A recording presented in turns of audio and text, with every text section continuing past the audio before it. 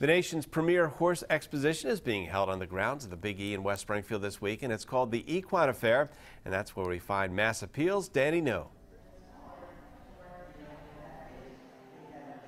Rich, how you doing? We're at one of North America's biggest equestrian events. This is exciting. I've seen a lot of horses today. I've been hanging out with Beth Volpe here. She's one of the coordinators, the educators here with Equine Affaire. Hi, Beth. Hi. Uh, so before, Beth taught me how to braid uh, a horse tail.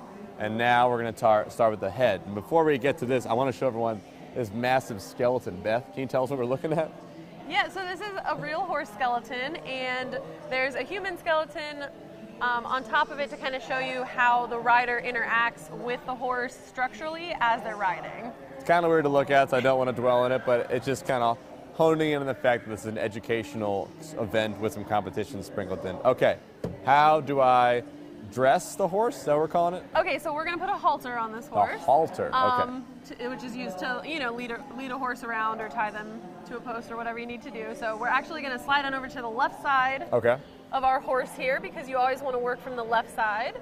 Um, this is our halter right here. So we're going to start with the nose band. This Slide the it over his nose there. Okay. Well, let me ask permission. Is it okay if I put this over your nose? Okay, thank you. All right, okay. we're good there. And then you're going to just put this strap over up behind his ears. This? He doesn't bite. He's very well trained. Oh, really? Yes. That's He hasn't blinked in like 10 minutes. It's kind of scary. Yes, that's me. another skill of his. um, so then you just take this behind their ear, and then you just buckle it right here. And what is the point of the halter? Well, um, if you need to lead a horse somewhere, so say take them out to a pasture or bring them in from the pasture or hold them so the vet can work on them, Mm-hmm. um, you would clip a rope right here and then you have control over them so that you can get them to do what you want. Ooh, down boy, down boy. He's a little wild one. Oh, and then of course I wanted to ask you about the thing that goes in the mouth. So what are these Yes. called? So these are bits and they would go in the horse's mouth um, and then the reins would attach to these like loops on the sides and that's where you can steer your horse. Is that comfortable? Yeah, so they're designed to kind of fit in gaps in the horse's mouth so that it's it's not uncomfortable. Um, and then there are kind of different degrees of harshness. If, Of har- yes, a real ruggedness. yeah, not that any of them are super harsh, No, but not different at all. horses just respond to different shapes.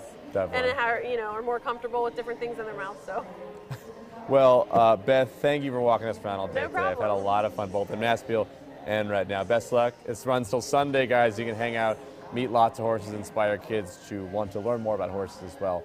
Sending it back to the desk. Everyone reporting live from Equine Affaire. I am Danny New for 22 News.